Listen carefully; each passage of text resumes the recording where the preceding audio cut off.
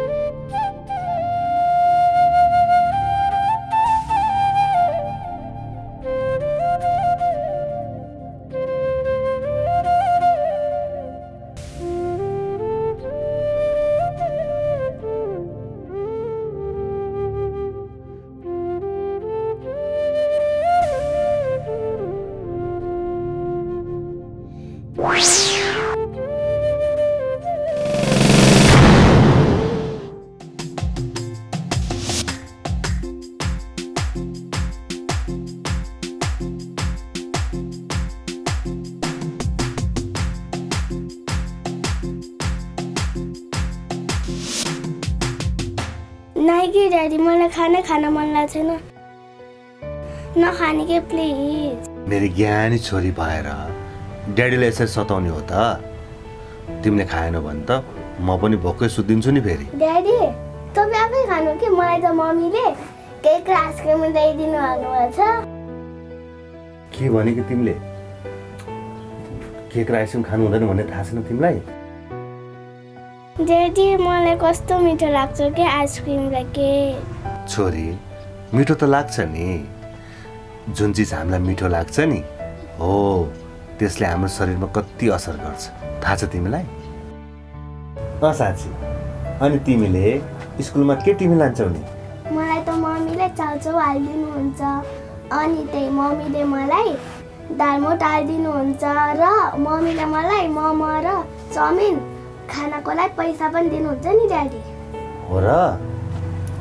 अबदेखि यस्तो खानेकुराहरू कहिल्यै खानु हुँदैन। यो त जङ्क फुड हो। यसले त बिरामी हुन्छ। उता पर घरको सुदेशहरू त बिरामी भएको। तिमीलाई थाहा छ नि? थाहा छ ड्याडी। ड्याडी त बल्ल घरि सुदेश जसरी नै हिँड्न नसकिने बोल्न नसकिने हुन्छ। जङ्क फुड खाइसके पछाडि? हो बल्ल कुरा बुझी मेरो छोरीले।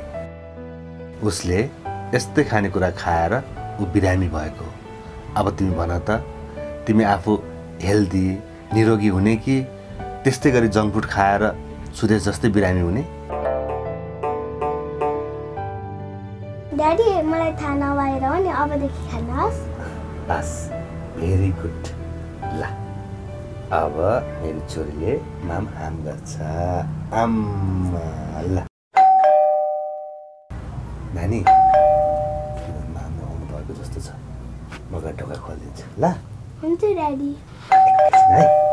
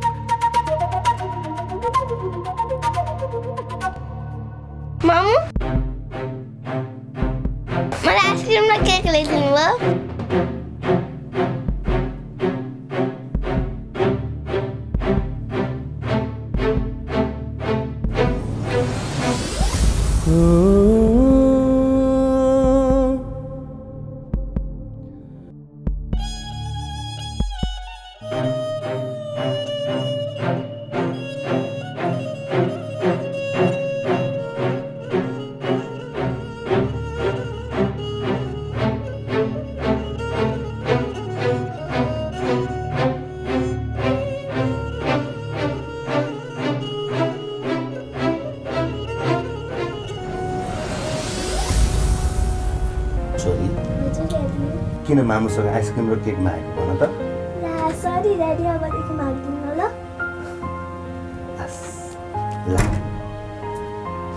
अब नानीले फेरि माम खाने है?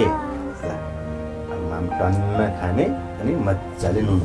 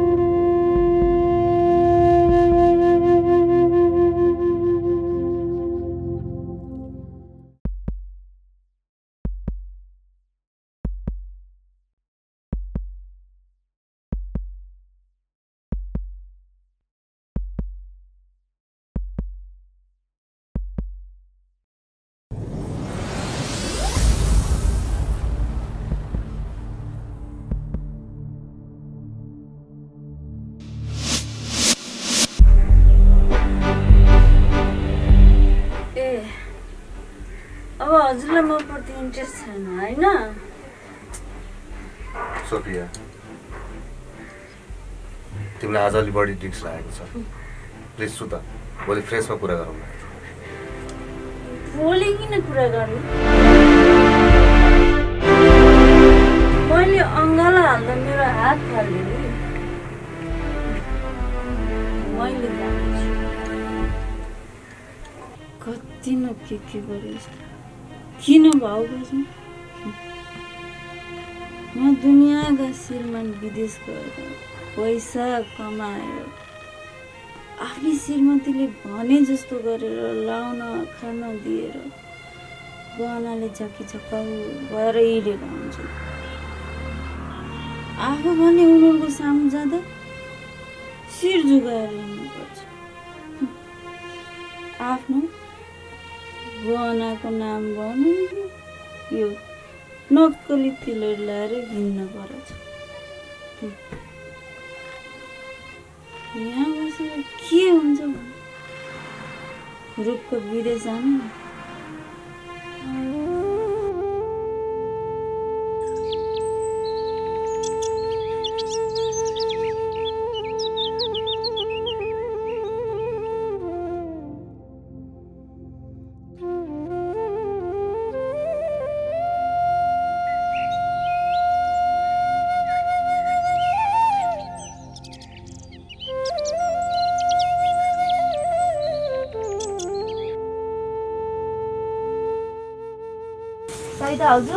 लौ निक्कै पो हुँदो रहेछ त घाँस काट्न जाने होइन?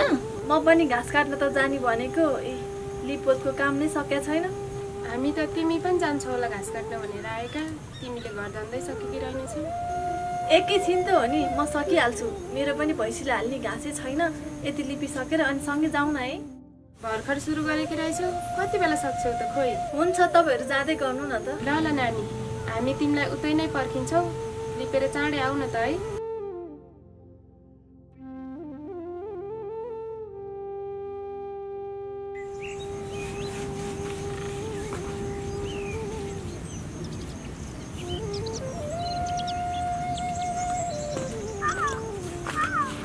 तपाईँलाई अलिकति भयो नि दया माया छैन है? होइन। के भन्छ यो के गरेँ मैले त्यस्तो? बिहान बिहान दया माया कुरा गर्दैछ त। मैले यत्रो दुःख गरेर लेख्दै आएँ। हेर्नुहोस् त त्यहाँ तपाईँले कुल्चेर। के खाने होला भनेको त यति जाब सानो कुरामा। बिहान बिहानै के चिज गरिदिएछ अँ त्यही त। जब सानो कुरा त हुन्छ नि। आफूले लिप्नु पर्यो बल्ल थाहा हुन्थ्यो। ल भइगयो बढी नबोल। अरूको श्रीमतीले बिहान बिहान श्रीमान उठ्ने बित्तिकै खुट्टा धोएर जल खान्छन्। तैँले भने मेरो? हराउनु मात्रै खान्छन्। विशेष यस्तासँग के कुरा बस्नु। होइन कता जान लाग्नु भएको हो र बिहान बिहानै? किन जायो तँलाई? म जतासुकै जाम। खुरखुर आफ्नो काम गर्न। म घाँस काट्न जानु छ। हजुर घरमै बस्नुहोस् भैँसी कराएर हैरान छ। कहिले काहीँ घरधन्दामा सहयोग गरे नि राम्रो हुन्थ्यो होला नि। ए हुँदा हुँदा मैले घरधन्दा गर्नु पर्यो होइन त? मैले घरधन्दा गर्नुपर्ने भए तँलाई बिहे गरेर ल्याएको के काम?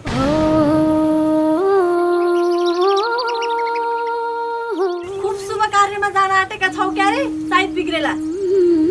कहिले मात्रै फर्किने होला? मम्मी मम्मी मेरो कपाल बाँधिनु न स्कुल जान पनि ढिलो भइसक्यो अन्त मेरो मजा पनि भेटेको छैन। कति डिस्टर्ब गरेको भने जाऊ न भने बाबालाई भन। भनेको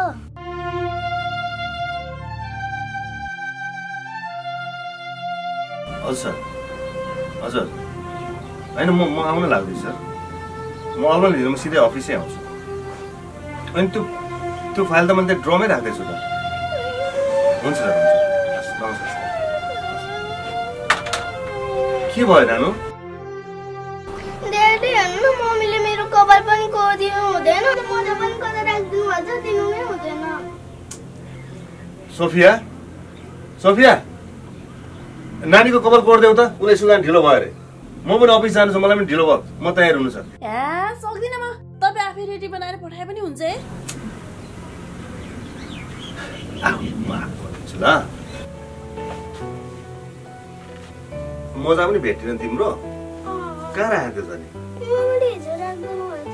मामुले? त्यहाँ ड्र सबै हेरेको तिमीले? ल टेन्सन नलिनु। म नानीको कपाल सपाल कोरिदिन्छु। अनि त्यसपछि मोजा पनि खोजिदिन्छु। अनि रेडी बनाएर नानीलाई म स्कुल छोडिदिएर अनि अफिस जान्छु हस्? हस्। ल। ए वर्ष दिन्छ दुःख गरी आबरै बस्नु पर्छ घर। सानो माया हाबरै बस्नु पर्छ घर। सानो माया हाबरै बस्नु पर्छ घर। ए तिजमा माइत जान्छु अनि हाबरै खानी हो क्या दर सानी माया हाबरै खानी हो क्या दर। पार्वती भाउजू खै त? यतिखेरसम्म सहिता भाउजू आइपुग्नु भएन त। ए सहिता भाउजू आइपुग्नु भयो? औ नानी। भाउजू यतिखेर आएर कतिखेर घाँस काटेर घर जानुहुन्छ? हाम्रो त डोको पनि भरिन लाग्यो। तपाईँलाई हामीले माथिल्लो काल्लामा घाँस छोडिदिएको छौँ। तपाईँ त्यहीँ गएर काट्नु र यहाँ तल झर्नु पर्दैन। हुन्छ नानी।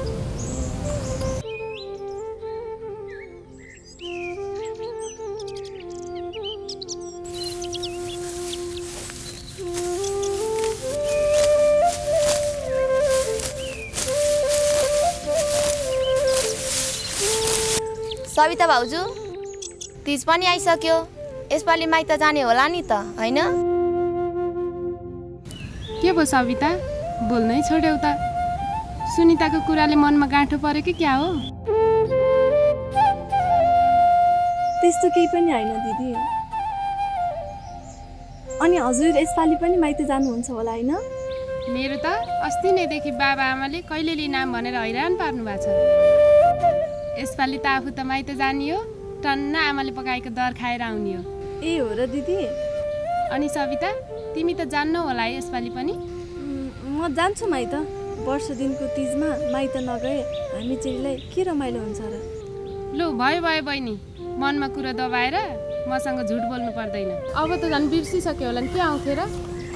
पार्वती भाउजू मेरो त डोको भरिन लाग्यो त। जाने होइन? अहिले मलाई फेरि स्कुल जान ढिलो हुन्छ। अँ मेरो नि भरिसक्यो नानी जानु जानु।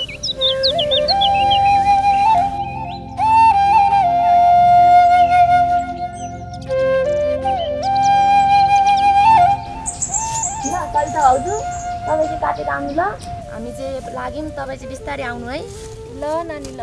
तपाईँको त स्कुल पनि जानुपर्छ होला ढिला भइसक्यो। अँ भाउजू स्कुल जानुपर्छ।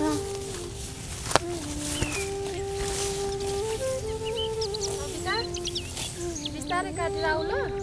ए हुन्छ दिदी? हस् हिँडेको। अघि नै सँगै आएको भएदेखि सँगै जानुहुन्थ्यो।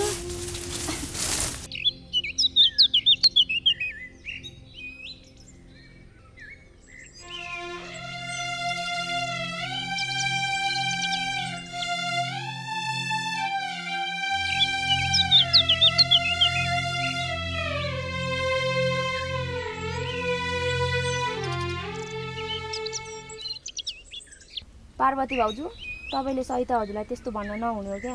बिचराको मन कस्तो दुःख होला? ए नानी पनि। मैले के भनेकी छु र त्यस्तो? भएकै कुरा भने त हो नि। भए पनि त भाउजू त्यसरी पेच्छ भन्दा मन दुख्छ नि त। ए दुखे पनि दुखोस्। आफ्नो त मनभरि पाप लुकाएर हिँड्ने बानी छैन त्यसलाई मात्रै होइन अरूलाई पनि त्यस्तो कुरा भनिहाल्छु म त। हे भाउजू पनि। यति साह्रो पनि छुची नहुनु न। के के कुरा त मनमा पनि राख्नुपर्छ क्या। सधैँ एकै नास हुँदैन नि। हेत्तेरिका नानी पनि भारी गरुङ्गो भएर गाह्रो भयो बेलामा कति चाहिने नचाहिने कुरा गर्नुहुन्छ। हिँड्नु चुप लाएर सुरु सुरु।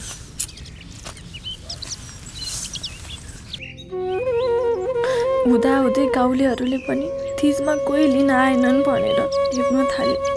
पोहोर परार नआए पनि यसपालि मेरो दाइ लिन आए त हुन्थ्यो नि। हे भगवान् तिज माइतीको आँगन बिना साह्रै खल्लो हुन्छ। मेरो दाइलाई जसरी पनि मलाई लिन आउने वातावरण बनाइदेऊ।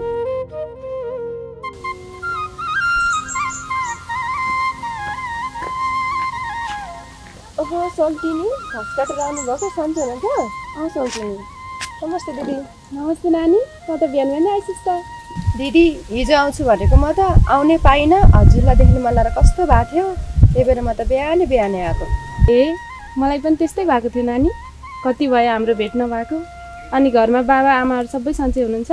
अँ सबैलाई सन्चै छ दिदी। ल ल नानी जाऊ है। घाँसको भारीले साह्रै गाह्रो भएको छ। घरतिर गएर कुरा गरौँ न गाह्रो भएको भए म बोकिदिन्छु नि त। पर्दैन नानी जाउँ जाउँ ल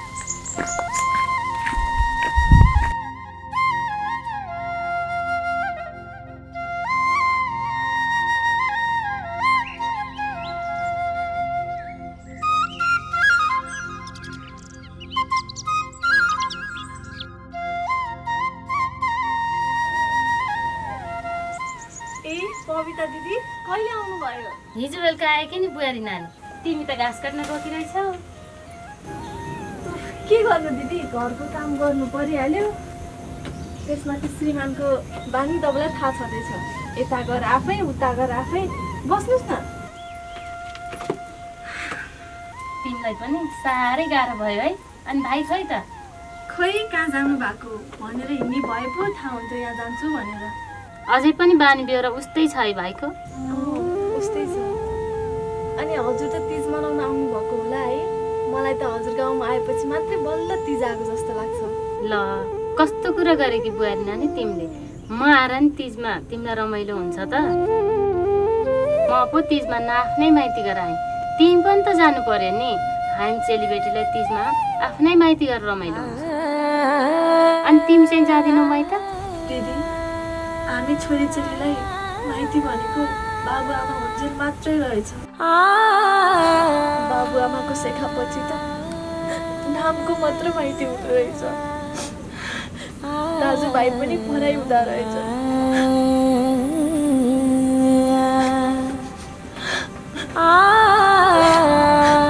ल ल नानी नरौ तिम्रो माइतीमा आएर के भयो त?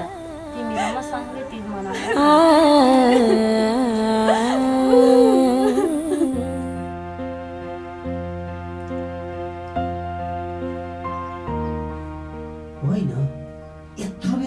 कफी अर्डर गरेको। अहिलेसम्म ल्याउँदैन नि त। होइन है समीर। कति मोबाइल मात्रै भोजेर बसिरह्यो भने यहाँ यस्तो रमाइलो गर्ने मान्छे के हो तँलाई?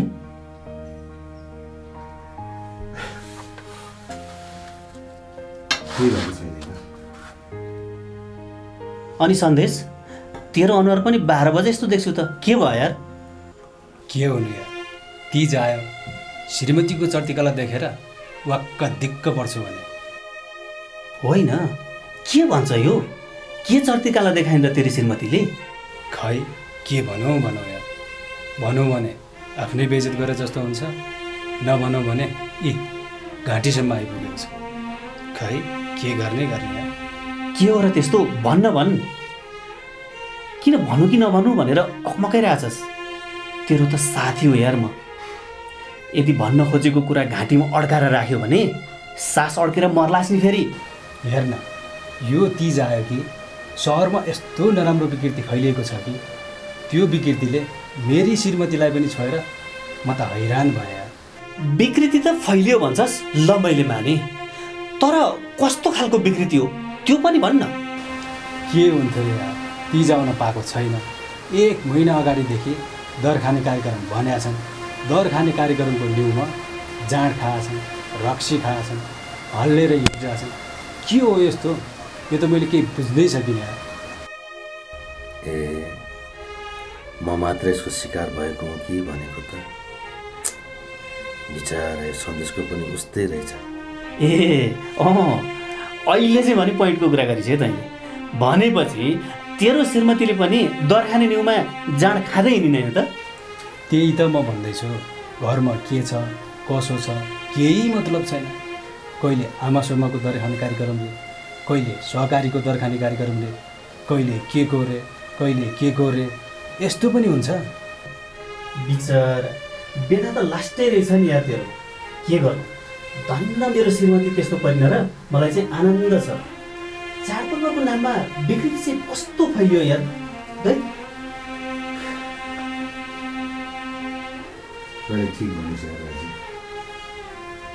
मान्छु म तिज भनेको नारीहरूको चाड तर यसरी विकृति नै फैलिने गरी तिज मनाउनु पनि त राम्रो होइन नि अहिले हाम्रै पुस्ताले भोगिरहेको छ भने यस्तो कुराले यस्ता कल्चरले अब आउने भावी सन्ततिलाई के पाठ सिकाउलान् के सिक्ने तिनीहरूले?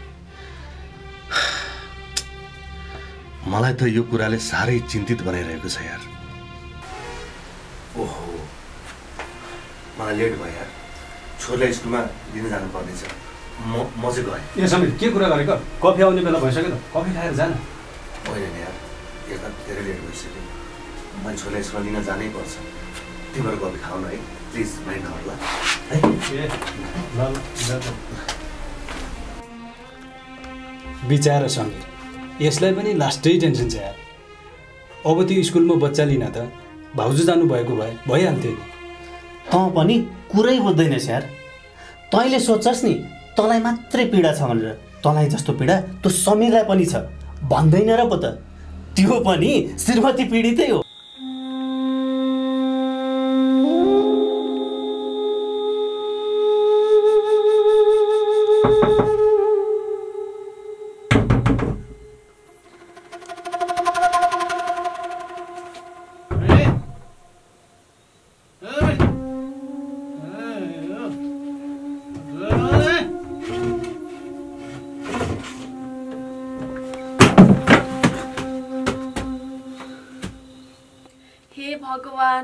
पनि रक्सी खाएर आउनुभएछ। होइन आफ्नो शरीर पनि कन्ट्रोल गर्न नसक्ने गरी किन रक्सी खानु पर्यो होला?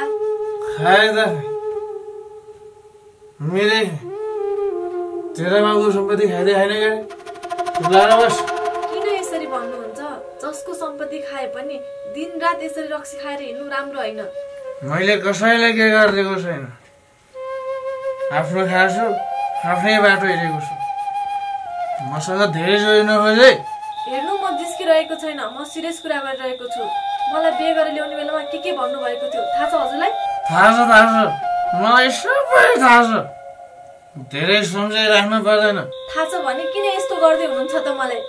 सहरमा त्यस्तो राम्रो जागिर छोडेर माइतीलाई एक वचन नसोधिकन विवाह गरेर आए। अहिले तपाईँले मेरो जिन्दगी नर्गतिर ढकेलिँदै हुनुहुन्छ। तेरो जस्तो जागिर मैले पनि खाथेँ। तैँले भन्दा बढी पैसा मैले कमाउँथेँ मैले पनि जागिर तेरो लागि त छोडे हो। कसले छोड्नु भनेको थियो र तपाईँलाई जागिर मैले भनेको थिएँ आफ्नै रहरले छोड्नु भएको होइन? त्यतिखेर त खुब गाउँ प्यारो भन्नुहुन्थ्यो त। अहिले गाउँमा आएर के गर्नुभयो खै तेरो माइतीले छ नि। मलाई त्यो पन्ध्र लाख रुपियाँ दिलान् र मेरो गाउँमा आएर व्यवसाय गरौँ र अनि सफल व्यवसायी भनेर गाउँलेहरूलाई देखाउँछु भन्ने कत्रो सपना थियो मेरो। त्यही माइतीले होइन मेरो सपना सबै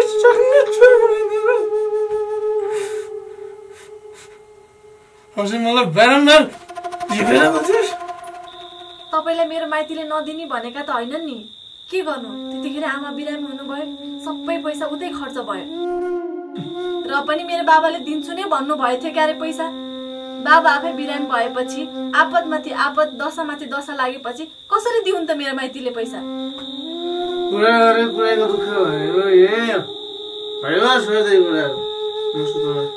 म चाहिँ हजुर आउनुहुन्छ अनि सँगै खाना खाम्ला भनेर कुरेर बस्ने।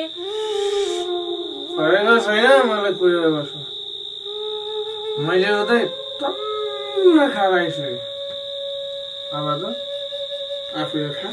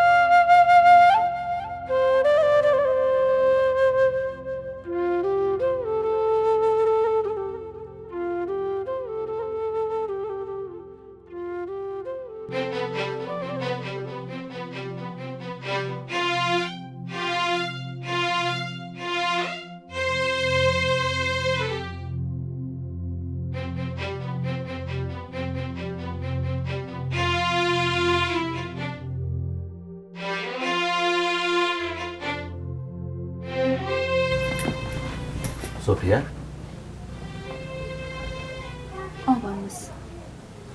मलाई एक वचन पनि नसोधिकन कहाँ जाला कि तिमी?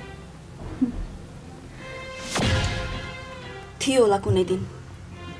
म बाहिर पाँच मिनटको लागि निस्कदा हजुरको पर्मिसन लिनुपर्ने।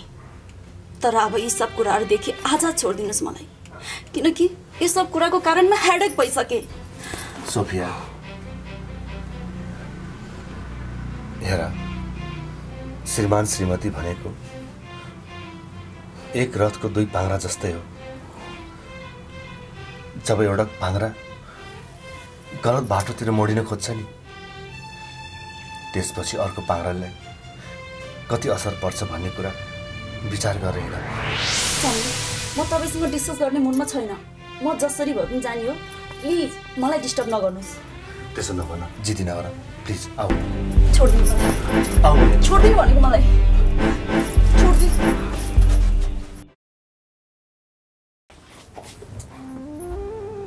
ल ठिक छ म तिमीलाई डिस्टर्ब गर्दिनँ तर तर तिमी कहाँ जान लागेको किन जान लागेको भन्ने सोध्ने अधिकार त छ होला नि मसँग हे भगवान् तपाईँलाई यति कुरा पनि थाहा छैन त्यसमा एउटी चेली कहाँ जान्छ यति कुरा नि सोच्न सक्नुहुन्न ए त्यसो भए तिमी माइत जान लागेको यस म माइत जाँदैछु। म माइत जाँदैछु भन्दा त तपाईँ निकै पो सकिङ हुनुभयो त। यसमा तपाईँलाई केही समस्या छ र? छ। हरेक चाडबाडको आफ्नै विशेषता छ। त्यसमा पनि तिजको आफ्नै विशेषता छ। कि त तिमीलाई माइतीले लिन आउनु पर्यो? कि भने माइतीबाट कसैको कल आउनु पर्यो? न त तिमीलाई कल नै आएको छ न माइतीबाट लिन कोही आएको छ। अनि तिमी चाहिँ किन बेकार हुरिएर जान खोज्छौ भन त? गड समीर तपाईँको कुरा सुन्दा पनि म अचम्म पर्छु भने। माइती घर भनेको म जन्मेको घर हो। त्यही घरमा जाँदा मलाई कसैले बोलाइरहनु पर्छ र। यो त मेरो अधिकारको कुरा हो। म जसरी भयो नि जान्छु ठिक छ। तिम्रो माइती हो तिम्रो अधिकारको कुरा हो। जाऊ। म तिमीलाई रोक्दिनँ। तर तर छोरीलाई पनि सँगै लिएर जाऊ न प्लिज। तिमी यहाँ नभएपछि उसलाई स्कुल लानेर ल्याउने कसले गर्छ भन त? मेरो अफिसमा एक दिन पनि छुट्टी छैन। मलाई यो विषयमा केही पनि थाहा छैन। मैले तपाईँलाई पहिले भनेको होइन। यति चाँडै बच्चा बच्ची नजन्मा भनेर तपाईँकै रहरले होइन। अब आफै लिने लग्ने गर्नुहोस् स्कुल। फेरि आमाले मात्रै हेर्नुपर्छ भन्ने केही छ र बच्चाहरू? भाउले पनि त हेर्न सकिन्छ।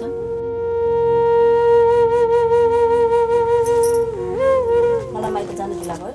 जाने बेलामा किचकिच नगर्नु म गएँ।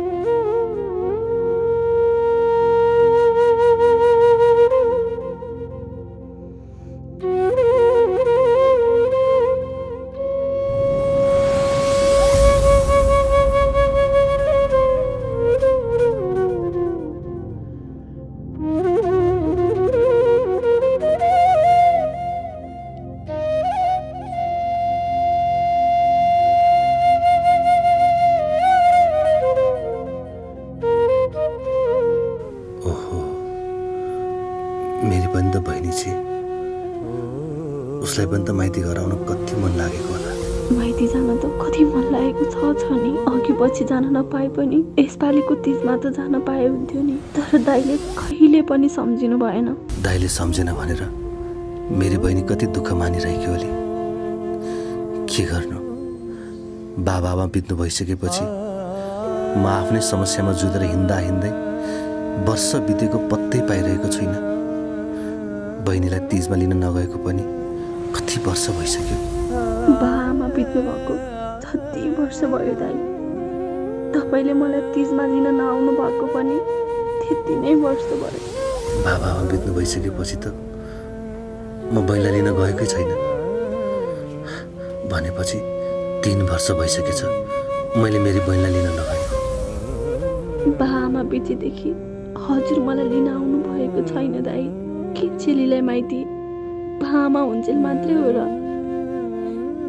के दाजुभाइ चाहिँ? माइती नै होइनन् र। होइन भने किन यसरी माया मार्छन् दिदी बहिनीको? मैले माया मारेको छैन बहिनी। मलाई मेरै समस्याले गर्दा तिमीलाई लिन आउन नपाएको हुँ। यसपालि जतिसुकै समस्या भए पनि म तिमीलाई लिन आउँछु। प्रतीक्षा गर बहिनी।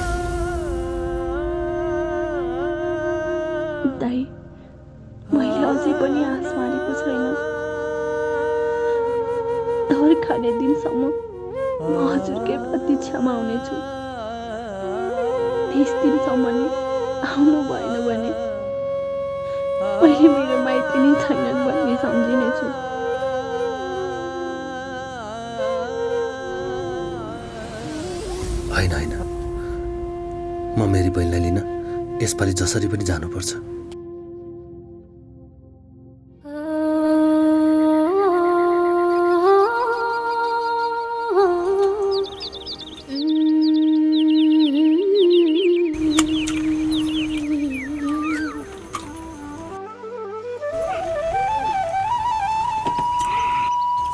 अर्पण।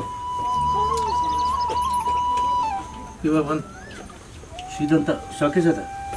भएन तेरो बुझाइ ए एकछिन सविता ए सविता हजुर किन बोलाउनु भएको खै मासु कति छ ल्याउ त सितन सकियो अलिकति छ मासु अहिले भातसँग खाए भइहाल्यो नि शीतन भन्ने सबै रक्सीसँग खाएर सक्नुपर्छ त।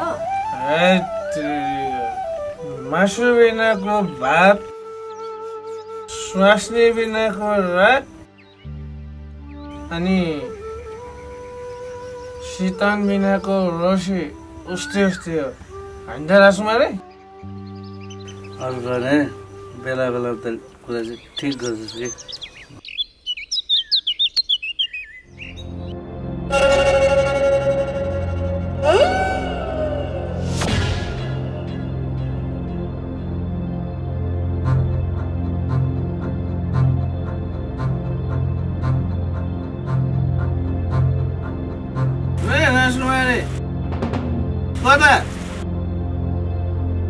यहाँ त्यता टोइलेट टोइलेट त ए- यता हो, यता यसलाई खाने रोसी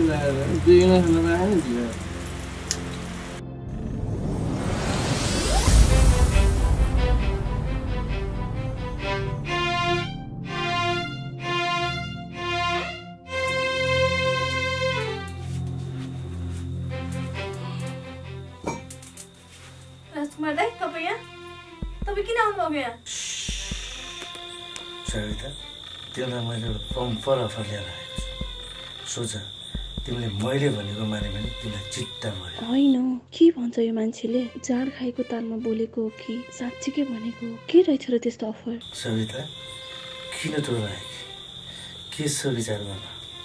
पहिला अफर त के हो भन्नु न अनि हुन्छ हुँदैन म भन्छु। त्यसो भए ध्यान दिएर सुन। तिमीलाई म एकदमै मन पर्छ सविता। यस्तो भुङ्गा सबै के गर्छौ?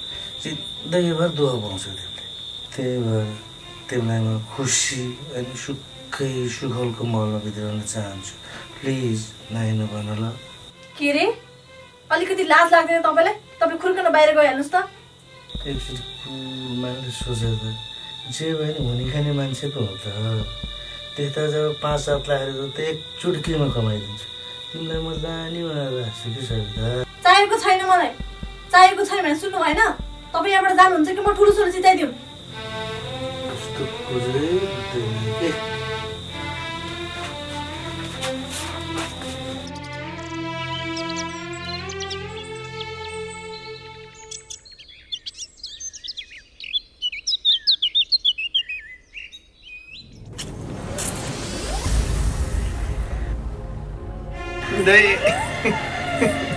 नमस्कार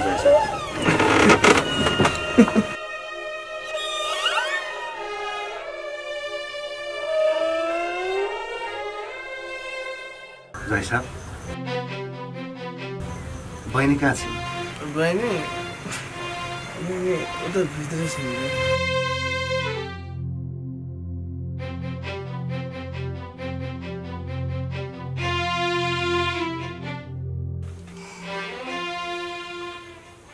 सविता?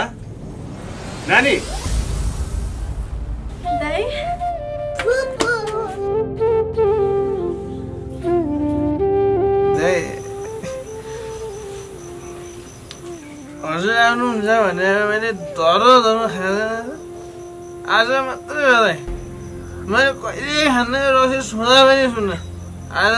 छ नि त मेरो साथी?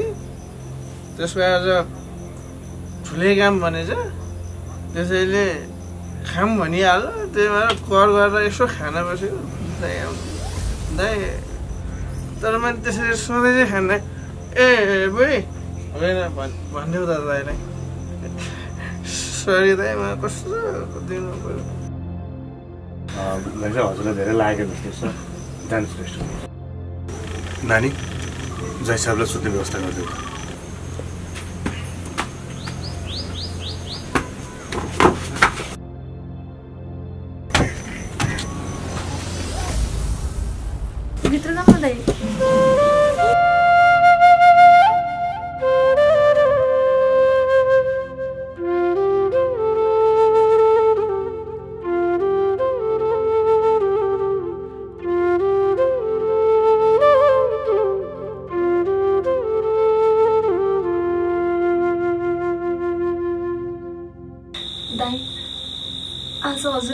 अचानक यहाँ देख्दा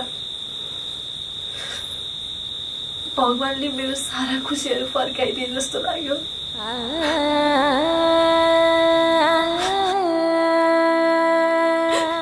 म हजुरको यादमा कति रुन्थे चटक्कै माया मार्नु भयो दाइ मलाई किन रोएकी तिमी दाइ म रोएकी होइन यतिका वर्षपछि हजुरको दर्शन पाउँदा खुसीको आँसु आएको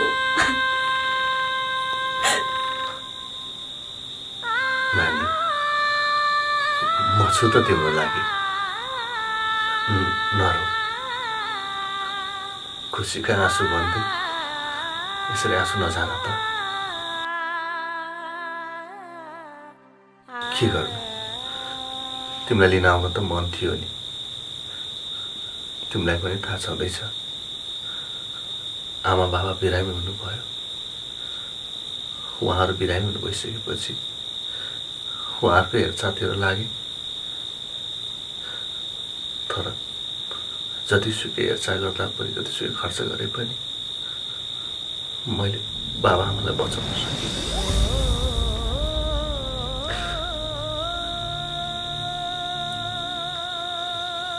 बाबा आमाको उपचार गर्दा जुन खर्च भएको थियो त्यो खर्चले छन् छन् मलाई उल्टो ऋणै ऋण परेन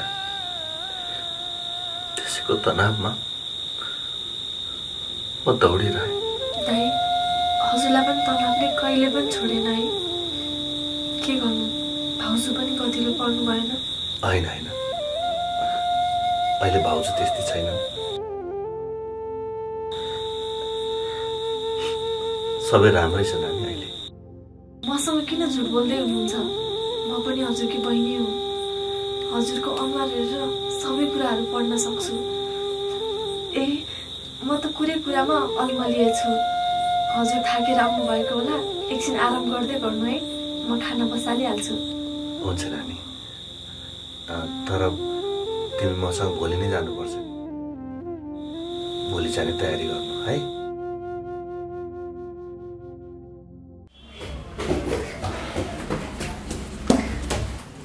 ड्याडी गेट त खुल्लै छ त। नानी मैले त गेट लगाएर गएको थिएँ त। कसले खोलेछ? छोरा कि क्या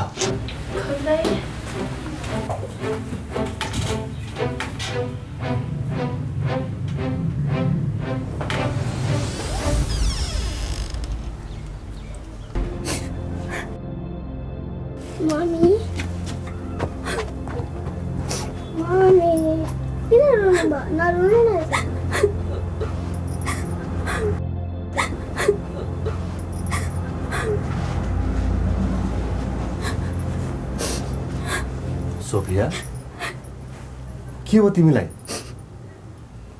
किन यसरी रोयो कि? तिमी त माइत जान्छु भने हिँडेको थियो होइन र?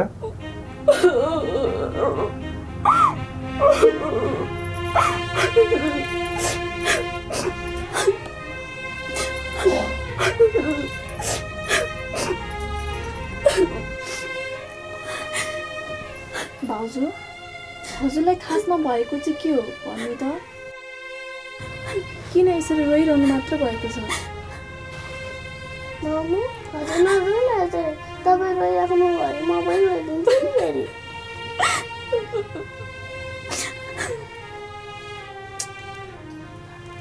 सोफिया तिमी रोएर मात्र टेन्सन नदेऊ त हामीलाई। प्लिज भएको के हो? त्यो त भन।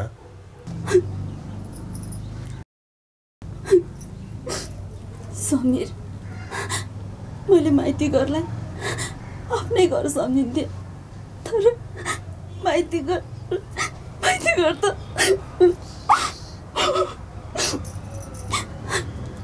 के भन्न खोज्दैछौ तिमी? नरोकने भन न। माइती घर भनेको त बाबा आमा अन्जिल मात्रै रहेछ समीर। म त्यहाँ पुग्दा भाउजूले र भाइ बुहारीले लिनै नआए किन आगे भनेर अनेक थरी वचन लगायो। आखिर दाजुभाइ पनि विवाह नहुँदासम्म मात्रै आफ्ना रहेछन्।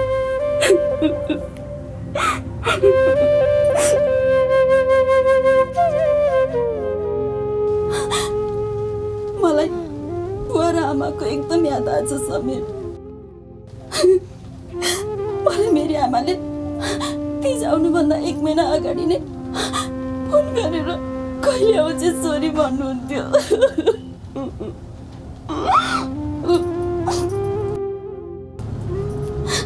तर दाजुभाइ बुवा आमा जस्तो हुँदो रहेनछ